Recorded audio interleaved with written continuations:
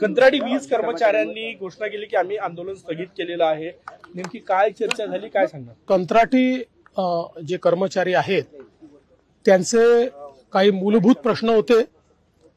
त्याच्यावर आमची चर्चा झालेली आहे. त्यातले त्यांचे काही प्रश्न जे आहेत ते अत्यंत जेन्युन आहेत की जे निश्चितपणे सोडवले गेले पाहिजेत. ज्याच्यामध्ये विशेषतः इतके वर्ष ते काम करतायत.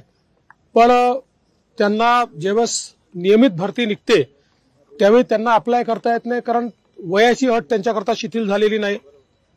त्यानंतर त्यांना त्या ठिकाणी काही ऍडिशनल मार्क दिले तर त्यांना या स्पर्धेमध्ये टिकता येईल. त्यामुळे त्या संदर्भातले काही विषय आहेत. या व्यतिरिक्त काही त्यांच्या फायनान्शियल डिमांड्स देखील त्या ठिकाणी आहेत. एक विशेष महत्वाची त्यांची जी मागणी आहे की कंत्राटदार जे आहेत ते शोषण करतात. नियमित आणि त्यांच्या त्यांना जेवढं वेतन देय आहे ते वेतन त्यांना मिळत नाही. आणि म्हणून थेट त्यांच्या खात्यामध्ये ते वेतन गेलं पाहिजे.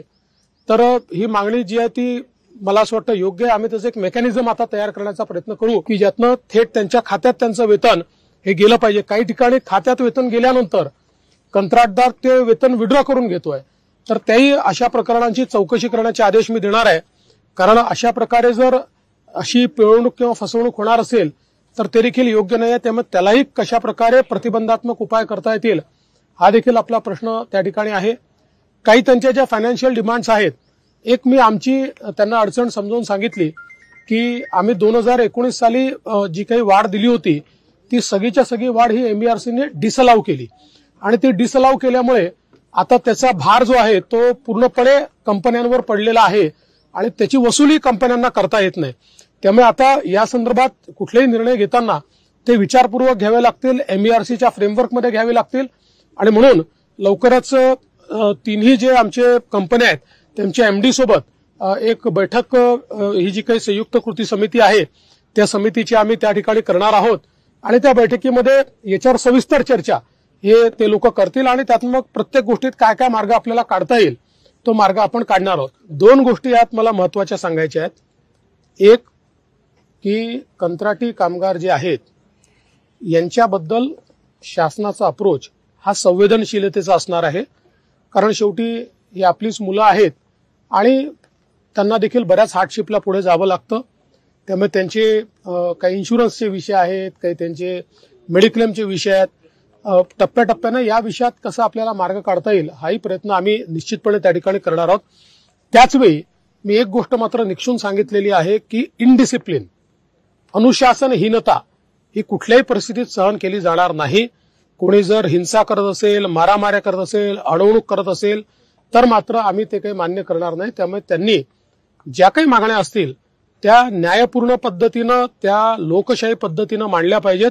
जरूर त्याचा सकारात्मक विचार आम्ही करू हे देखील निक्षून सांगितलं दिल्लीत काल बैठक झाली उशिरापर्यंत काय तोडगा निघाला काय चर्चा? फॉर्म्युला मिळाला का?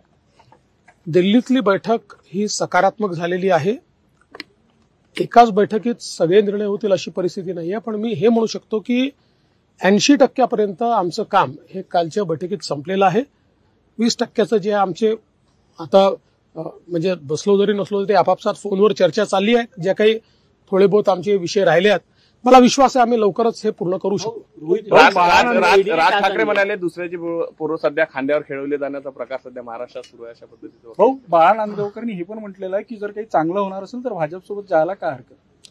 नाही असं आहे की या संदर्भातली आमची भूमिका ही आम्ही यापूर्वी देखील सांगितलेली आहे की आत्ता मनसेने जी काही व्यापक भूमिका घेतलेली आहे ती भूमिका आमच्या विचाराशी विसंगत नाही आहे त्याच्यामुळे कसं आहे की आधी क्षेत्रीय अस्मिता जी आहे ती आम्हाला मान्यच आहे. महाराष्ट्रात राहून मराठी माणसाबद्दल बोलणं हे योग्यच आहे.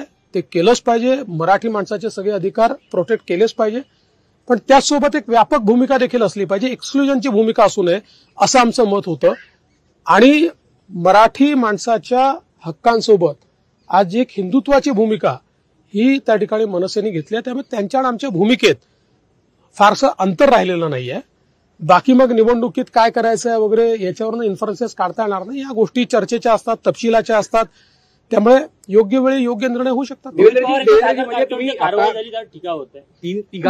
माझा काय संबंध आहे? तिघा जणांसोबत आता चौथा बीड येणार मनसे तुम्ही जे संकेत देता त्यावरून. कुठलेच संकेत तुम्हाला दिलेला नाही. तुमचे डोके क्लिअर केले आहेत मी. तुम्ही जे अंदाज पंची चालवता त्याबद्दल तुम्हाला मी काय फॅक्ट आहे हे एवढं सांगितलेलं आहे. जाहीर होण्याची कधीपर्यंत जाहीर होण्याची सगळे किती दिवस तरी अंदाजे?